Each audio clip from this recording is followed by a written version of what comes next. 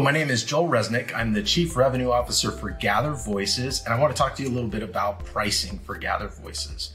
Our subscriptions are set at different tiers and different pricing levels based on the needs that you have. The different factors that drive that cost are associated with the number of use cases you have, the number of administrators that you're looking to use the platform, the length of your subscription, and some of the features and functionality that might be included. And last but not least, we do offer services, so that could factor into pricing as well. So during the demonstration process, we'll evaluate your needs and build a custom subscription option for you to ensure you're set up for success.